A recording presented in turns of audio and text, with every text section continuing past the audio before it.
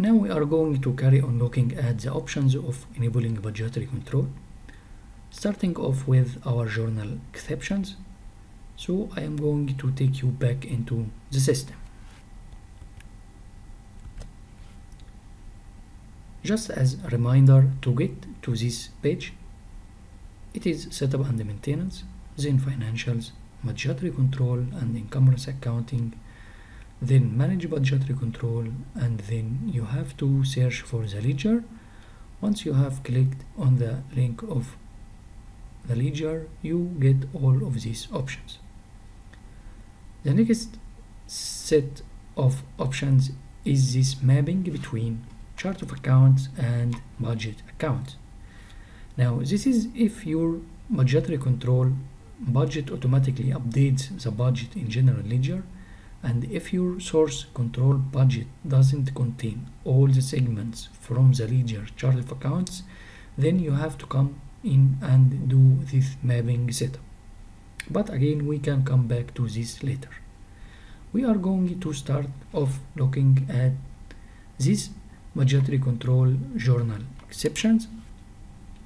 This is where you can add journal source and categories to exclude them from budgetary control and the ones that you are seeing here closing journals cost accounting open balances receipt accounting they are the default but you can add more if you want to and then you could just choose specific journal categories sorry journal general categories or enable all.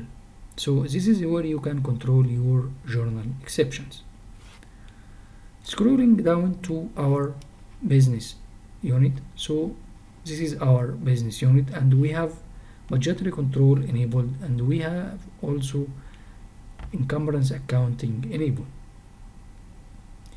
We also have this default date rule enabled and we also we can see Arial on in one of these slides and transaction updates balances for the control budget period based on the default date rule here.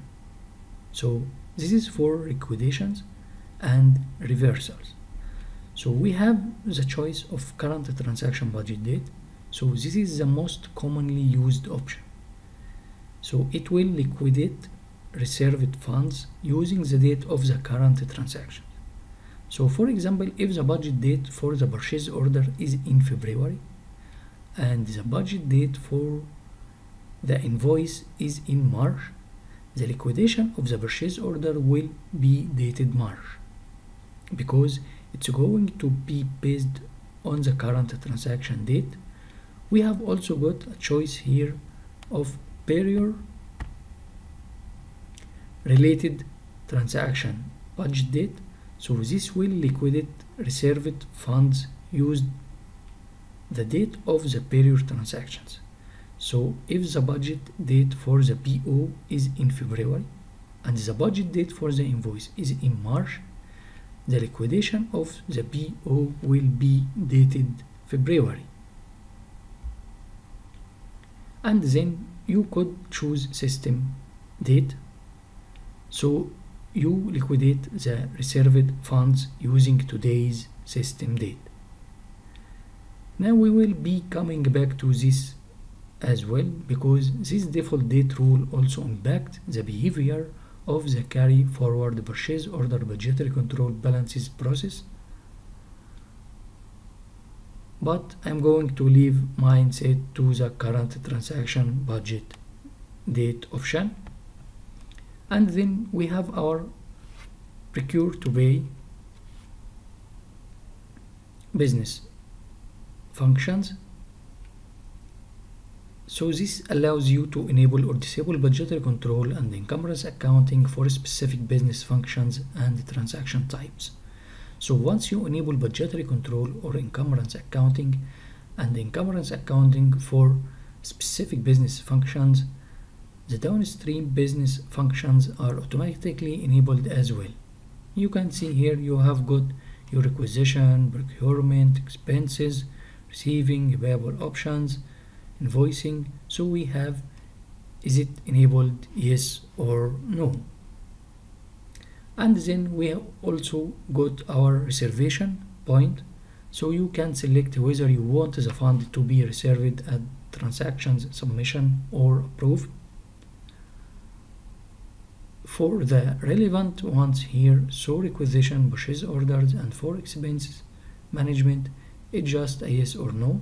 Receiving payable invoices we have got it set to yes there as well. If you are enabling budgetary control for receiving in addition to making sure that you have got this set to enabled if we come down into the transaction type details so for this transaction accounting details you then need to click to enable as appropriate for these transactions for the relevant transaction subtypes. You must also make sure that payables is set up for current receipts in your manage common options for payables and procurement. So you need to set that to accrue expense items failed to add receipts.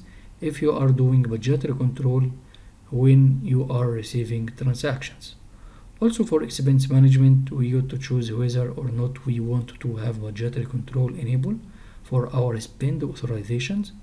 Now these authorizations will be reserved as a commitment. If you are enabling the spend authorization subtype for expenses then in your payable invoicing you should actually and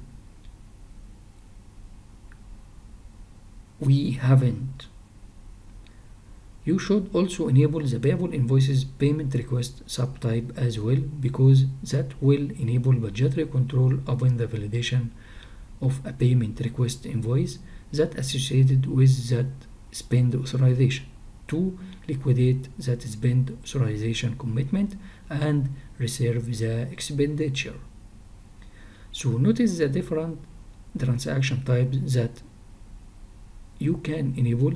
And if we come into each one of these so our requisition requisitioning of for supplier purchases is yes but non-project internal material transfer is not.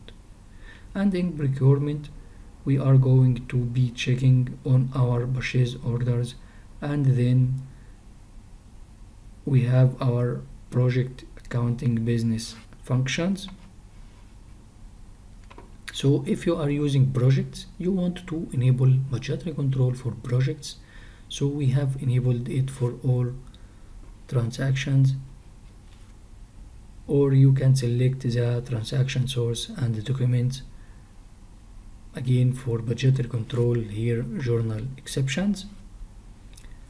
And here as we said before that we enabled for all transactions source and documents but then you could put in your budgetary control journal exceptions down for your project information so that is the remaining options for budgetary control enabling budgetary control. See you in the next lecture to take example of how budget date are working